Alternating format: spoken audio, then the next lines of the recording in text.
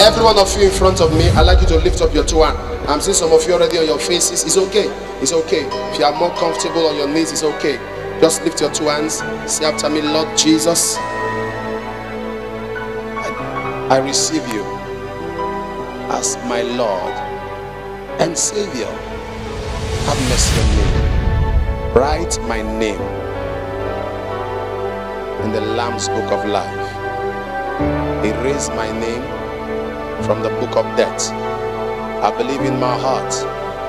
I confess with my mouth that Jesus is my Lord and my Savior. I'm born again. In Jesus' name. I pray for you, forward ever, backward never. The Lord will receive you. He will help you to follow Him to the last day. In Jesus' name. Give the Lord a hand for them.